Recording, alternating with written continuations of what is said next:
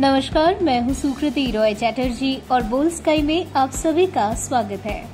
लोग अक्सर सुबह जल्दी अपने काम को पूरा करने के चक्करों में नाश्ता कई बार छोड़ देते हैं।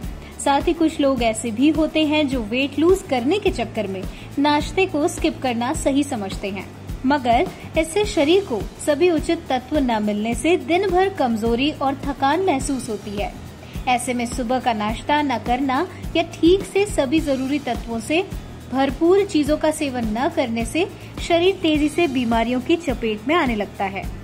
नाश्ते को स्किप करने की जगह आप पोहा बनाकर खा सकते हैं। जी हाँ सब्जियों से तैयार पोहे का सेवन करने से शरीर को सभी उचित तत्व सही मात्रा में मिलने के साथ ही बीमारियों से भी बचाव होती है। तो आइए जानते हैं, नाश्ते में पोहा खाने से मिलने वाले बेहतरीन फ़ायदे।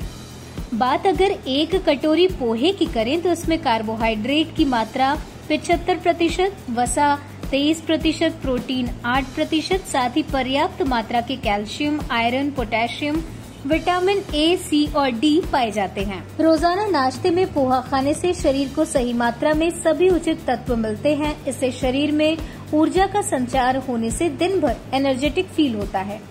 इसमें सभी ज़रूरी तत्व सही मात्रा में होने वाले शरीर को स्वस्थ रखने में मदद करते हैं। साथ ही कैलोरी कम होने से वज़न बढ़ने की भी परेशानी नहीं होती। जिन लोगों में खून की कमी होती है, उन्हें रोज़ाना नाश्ते में पोहा ही खाना चाहिए।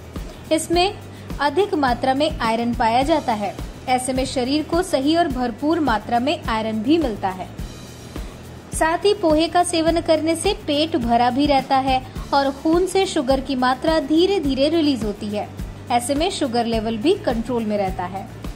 उम्मीद करती हूँ कि आपको ये वीडियो पसंद आया होगा। वीडियो को लाइक और शेयर करें। साथ ही चैनल को सब्सक्राइब करना ना भूलें।